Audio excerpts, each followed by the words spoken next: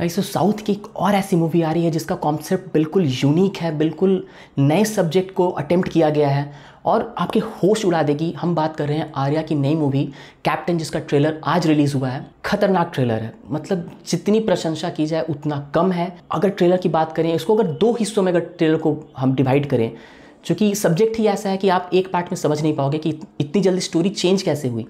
तो first part में आपको आर्मी की लाइफ ट्रेनिंग दिखाई जाती है। लव लाइफ कैंटीन दोस्तों के साथ। और आप इतना खो जाते हैं वो ड्रोन फुटेज से जो सारा शूट हुआ है। वो बहुत ही शानदार है और एक पल के लिए आपको जब वो मिशन पे जाते हैं आर्या अपनी टीम को लेके तो बिल्कुल उरी की याद दिला देता है गूज बम्स आ जाते हैं। फिर आप ये सब इंजॉय कर ही रहे होते हो, फिर अचानक से स्टोरी टर्न ले लेती है और पानी के अंदर एक मिस्टीरियस एक जैसी चीज़ दिखाई देती है, फिर अचानक से एक लैब दिखाई देता है और फिर बात होती है सेक्टर 42 की। तो सेक्टर 42 बेसिकली एक ऐसी जगह है जहाँ पिछले 50 सालों में कोई नहीं गया जो वहाँ पे गया है वो ज़िंदा वापस नहीं लौटा है। ये बेसिकली अमेरिका का जो एरिया 51 है जहाँ पे यू को के ऊपर ऐसा मतलब ऐसी थ्योरीज हैं कि वहाँ रिसर्च हो रही है सबको पता होगा। वैसा कुछ ए, आ, सेक्टर 42 के बारे में बताया गया है। मतलब दिमाग आपका हिल जाता है आपका कब आप टेलीपोर्ट होकर थिएटर में पहुँच गए और लगता है कि बिल्कुल आप फ़िल्म देख रहे हो। ये एक्चुअली एक शॉर्ट फ़िल्म की तरह है जिसे ढेर सारे अवार्ड जीतने हैं। और मिस्ट्री यहीं पे ख़त्म नहीं होती है। एलियंस की लाइन बोल दी जाती है कि हम क्या हम एलियन की बात कर रहे हैं। तो वो कन्फर्म होता है, फिर उन क्रीचर्स को दिखाया जाता है जिनसे कि आर्या उनकी टीम लड़ती है टैंक से गन से। ये देख के साफ़ पता चलता है कि फ़िल्म का बजट बहुत अच्छा है। फिर जब आप ये सब सोच के आप फिगर आउट आपको लगता है कि आपने फिगर आउट कर लिया है, ठीक है, ये इसमें एलियन से आर्मी की लड़ाई होगी।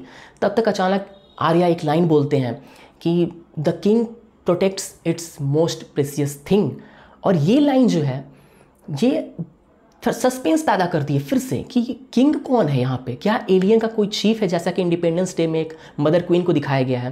वो प्रेशियस थिंग क्या है? किस चीज़ की बात हो रही है? इतना, इतनी ज़्यादा मिस्ट्री क्रिएट हो जाती है और जब आपको लगता है कि आपने एक बार फिर से सब कुछ फिगर आउट कर लिया है कि ठीक है, यहाँ तक ये चीज़ें दिखेंगी, ये चीज़ हमें देखने को मिलेंगी। अचानक से फ़िल्म के ट्रेलर में आपको फिर से एक शॉक दे दिया जाता है, जहाँ पे आपको एक ऑक्टोपस जैसी चीज़ वो तालाब से निकलती हुई दिखाई देती है। और यार दिमाग घूम जाता है। मतलब याद नहीं आता कि पिछली बार इतना शानदार ट्रेलर कब देखा, जिसका तो जिसकी बिगिनिंग भी इतनी अच्छी है और एंड इतना ही धमाकेदार। ड्रॉबैक की बात कर लें तो ड्रॉबैक नहीं है बेसिकली ऐसा लगता है हमें कि वो एलियन वाली लाइन अगर न बोली होती क्योंकि वो क्रीचर्स को देख के साफ़ पता चल रहा होता कि और सेक्टर 42 को कनेक्ट करके मन में कई सारे सवाल आते ये सेक्टर 42 में ये क्रिएचर्स और कोई ज़िंदा नहीं लौटा।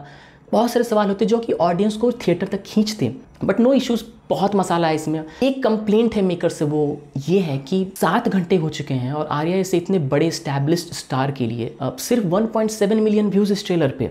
मतलब क्यों? इसकी अंडर प्रमोशन क्यों? जिनको नहीं पता है, आर्या एक बहुत स्टैब्लिश्ड एक्टर है तमिल फ़िल्म इंडस्ट्री के चूँकि मेरा काफ़ी टाइम वहाँ पे बीता है, इसलिए मैं बता सकता हूँ कि बहुत बड़े स्टार हैं मतलब बड़े बड़े वहाँ के स्टार्स इनके फ़ैन हैं। आर्या की मूवी जब रिलीज़ होती है तो पूरे फैमिली के साथ देखते हैं। सूर्या जैसे स्टार्स इनके फ़ैन हैं। अगर फिर भी आपको विश्वास नहीं है कि आर्या का आपको दम देखना है कि ये कौन है भाई? अगर आपने नाम नहीं सुना है तो प्लीज़ मद्रासा पटिनम का ट्रेलर बस देख लो। फ़िल्म देखे बिना आप नहीं मानोगे।